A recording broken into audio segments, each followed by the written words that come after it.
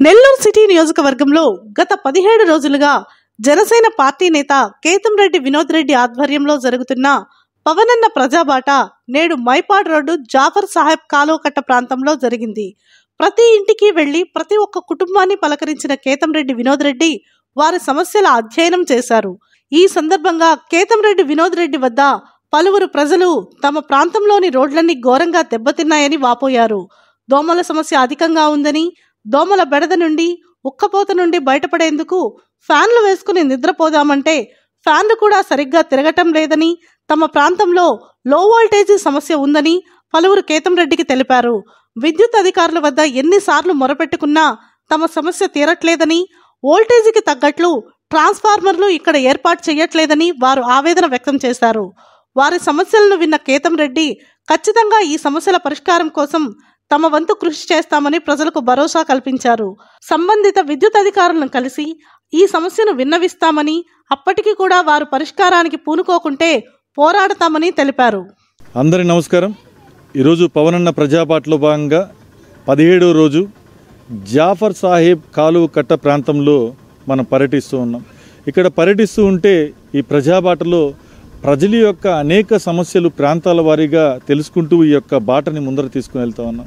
ఇక్కడ ప్రధానంగా ప్రజలందరూ యొక్క బాధ ఏంటి అంటే విపరీతంగా రోడ్లు గుంతలమయంగా ఉన్నాయి. వాహనాలు చెడిపోతున్నాయి. ప్రజలుగా మేము నడవాలన్నా కూడా చెడిపోతున్నాం. ఎలక్షన్లప్పుడు వస్తున్నారు ఓట్లు వేయించుకుంటున్నారు కనీసం గుంతలమయమైనటువంటి రోడ్లు కూడా పోడ్చలేనటువంటి పరిస్థితి అని చెప్పి ప్రజలు చెప్పడం జరిగింది. అదేవిధంగా నెల్లూరు అనేది బేసికల్గా దోమలకి ఫేమస్ అలాంటిది ఈ ప్రాంతంలో కనీసం మున్సిపల్ కార్పొరేషన్ కానీ ప్రభుత్వం కానీ ఇక్కడ ఉన్నటువంటి ప్రజల్ని పట్టించుకున్నటువంటి పరిస్థితి మనం చూస్తూ ఉన్నాం. అనేకమైనటువంటి డెంగ్యూ వ్యాధులు ఆరోగ్యపరమైనటువంటి సమస్యలు ఈ ప్రాంత వాసులు ఎదుర్కొంటా ఉన్నారు. అనేక వందల సంఖ్యలో ఉండేటటువంటి నిరుపేదలు ఇక్కడ నివసిస్తూ ఉంటారు. ఎలక్షన్లప్పుడు వచ్చి ఓటు అడుగుతారు ఓటు వేయించుకుంటారు తర్వాత మమ్మల్ని ఎవరు కూడా పట్టించుకోరు అని చెప్పి ఇక్కడ మహిళలు ప్రత్యేకంగా చెప్పడం జరిగింది. వారికి ఒక భరోసాను కల్పించడం జరిగింది. పవన్ కళ్యాణ్ గారి పార్టీ తరపున ఇక్కడ ఉండేటటువంటి రోడ్లని మనం మరమ్మతు చేస్తాం. అదేవిధంగా ఏదైతే ఈ దోమల సమస్యలు ఉన్నాయో వీటిని కూడా పరిష్కరిస్తామని చెప్పి కూడా చెప్పడం జరిగింది. ప్రజలందరూ కూడా మహిళలు ప్రత్యేకంగా సానుకూలంగా స్పందించారు.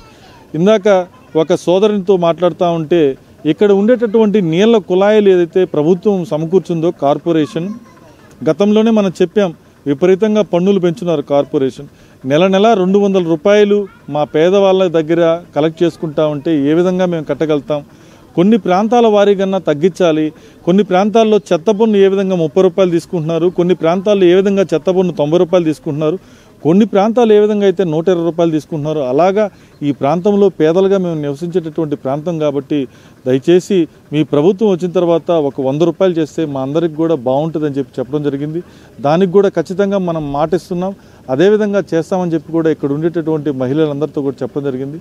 ఈ విధంగా ప్రతి ఒక్కరి ఆశీర్వాదం తీసుకుంటూ ప్రతి ఒక్క మహిళలు కూడా చెప్తా ఉన్నారు.